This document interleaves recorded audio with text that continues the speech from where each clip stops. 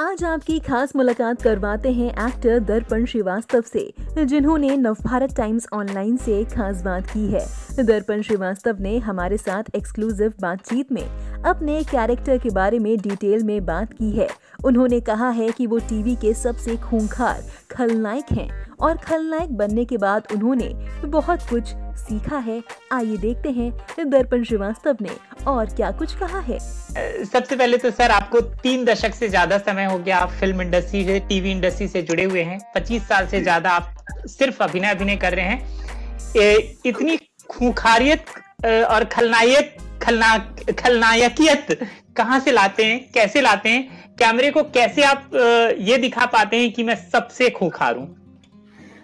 देखिए कुछ तो माशाल्लाह शक्ल भी ऐसी है। जो जो जो जो ऊपर वाले ने सूरत दी है तो मैं सोचता हूँ कि वो आधा काम कर देती है। दूसरी बात क्या है कि जब भी कोई किरदार में निभाता हूँ तो बहुत बड़ा सपोर्ट होता है उसकी क्रिएटिव टीम का। जैसे अभी मैं हेरॉड की बात करना चाह रहा हूँ कि इतनी, इतने शिद्दत से काम किया गया, इतना शोध किया गया। हमारे जो अरविंद बब्बल सर हैं, बहुत सारी बहुत सारी बातें बारीकियाँ उन्होंने बताई कि ये ऐसा हो सकता है, वैसा हो सकता है। वो बहुत सपोर्ट करता है। दूसरी बात, फिर काफ़ी सालों से मैं काम कर रहा हूँ तो मतलब किरदार काफ़ी निभा लिए हैं तो वो भी आसान हो जाता है क्योंकि आप एक निरंतर प्रक्रिया में बने हुए हैं। आप लगातार उस चीज़ को देख रहे हैं, लगातार आप काम किए जा रहे हैं। वो भी आसान कर देता है। लेकिन उसके बाद एक जो बात मेरे मुझे लगता है कि जब मैंने हेरॉड के कपड़े पहने, जो पोशाक पहनी, और जब मैंने वो लाइंस को पढ़ना, जब मैंने रीड करना शुरू किया, जिस तरह से, और जिस तरह से वो अंदर से एक एक आवाज़ आई कि इसको मैं इस तरह से प्ले करूँ, वो आपने प्रोमो में देखा ही होगा। और अब जो है 22 दिसंबर 8 बजे, सोमवार से शुक्रवार एन टीवी पर, यीशु जब आएगा तब तो आप देखिएगा। मैंने बड़ी शिद्दत से काम किया है। अब सारा दारोमदार दर्शकों पे है कि वो किस तरह से उसको अप्रिशिएट करते हैं। और मैं चाहूँगा कि बना रहे प्यार इतने सालों से बना हुआ है आगे भी बना रहे। आगे भी देखता हूँ क्या कर सकता हूँ मैं।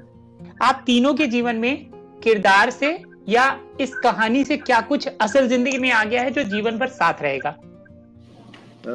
आप ये सवाल तीनों से कर रहे हैं? हाँ तीनों से। सर पहले आप जवाब दीजिए। मैं मैं जवाब देता हूँ। देखिए मैं हरॉड जिससे पापी था अत्याचारी था उसको मज़ा आता था कि अपने प्रजा पर अत्याचार करे। ये उसका एक एक तरह से नकारात्मक यू नो पहलू था। लेकिन अगर मैं इस हेरॉड को जब प्ले कर रहा हूँ जब मैं देख रहा हूँ तो मुझे एक चीज़ इससे फ़ायदा पता क्या हुआ? इसे सोचने की शक्ति ज़्यादा बढ़ गई मेरी तक क्योंकि मैंने ड्रामा नहीं किया। कि उस दौरान पीरियड ड्रामा में कब कहा कैसे वो हेरॉड करता होगा कैसे वो राजा होगा और कैसे वो उसकी ज़िंदगी में चीज़ें चलती होंगी तो डिसिप्लिन ज़्यादा आ गया। मैंने आ, मैंने अपने आप को अपने घर से पृथक कर लिया अलग कर लिया। रीजन क्योंकि मुझे लगता है कि मुझे ज़्यादा टाइम देना है इस, इस कैरेक्टर के लिए। मॉर्निंग ज़्यादा मैं बहुत लेट लतीफ का लेट लतीफ मतलब अपने जीवन में सोने का बड़ा मज़ा आता है मुझे लेकिन अब जल्दी उठने लगा। तो ये एक तरह से सकारात्मक चीज़ें हैं जो मेरी ज़िंदगी में आई और कहते ना कि जो अच्छा लगे उसे अपना लो जो बुरा लगे उसे जाने दो।